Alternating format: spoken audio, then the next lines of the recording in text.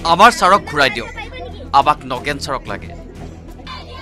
নগেন ছাৰক উভতাই আনিবলৈ ছাত্ৰ ছাত্ৰীৰ প্ৰতিবাদ। কিন্তু নগেন ছাৰ কলৈ গ'ল?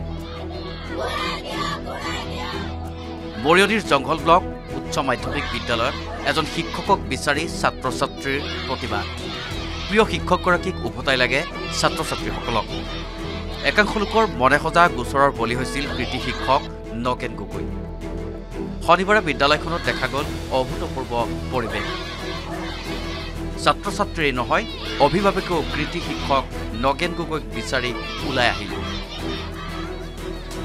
শিক্ষক নগেন গগৈ দুখ জাপি দিয়াটো অতি দুৰ্ভাগ্যজনক। যিজন শিক্ষকে এই স্কুলখনৰ কাৰণে এই শিক্ষা অনুষ্ঠানটোৰ কাৰণে আৰু ৰাইজৰ কাৰণে অহৰহ তেখেতে নিজৰ কামত সময় নিদি পেলাই ৰাইজৰ কামত সময় দি থাকে আৰু তেনেকুৱা এজন ব্যক্তিক আজি দোষী সজাবলৈ সকলো উঠি পৰি লাগিছে।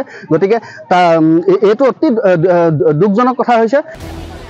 দশমীৰ দিনা বিদ্যালয়খনৰ এগৰাকী অষ্টম শ্ৰেণীৰ ছাত্ৰীয়ে আত্মহত্যা কৰিছিল আৰু তাৰ পিছতেই একাংশ লোকে মনে সদা গোচৰ তৰিছিল শিক্ষক নগেন গগৈৰ বিৰুদ্ধে।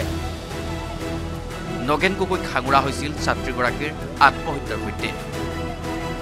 ছাৰক আমাক ন্যায় লাগে। ছাৰে আমাৰ মাজত নাই এতিয়া। আমাৰ ছাৰক মিছা অপবাদ দিছে। ছাৰে আমাক হিন্দী ক্লাছ কৰিছে এতিয়া আমাৰ ক্লাছো ক্ষতি হৈছে। ছাৰক আমাক ন্যায় লাগে।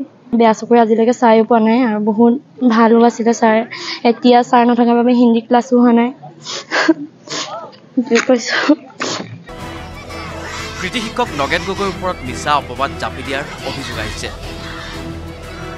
তেখেতলোকে সম্পূৰ্ণ মিছা অপবাদ এটা জাপি দিছে। সিহঁতৰ ঘৰত প্ৰত্যেকটো জেনেৰেশ্যনতে চুইচাইড কৰে। আমি ইয়াতে ডাঙৰ হোৱা ইয়াতে বিয়া সোমাই ইয়াতে বুঢ়ী হৈ মৰিম। কিন্তু সিহঁতৰ ঘৰত প্ৰত্যেকটো জেনেৰেশ্যনতে চুইচাইড কৰে। সীতা আৰু ৰামক কেনেকে বুকু ফালি হনুমানে হনুমানে দেখুৱাইছিলে সেইখিনিহে বুজাইছিলে।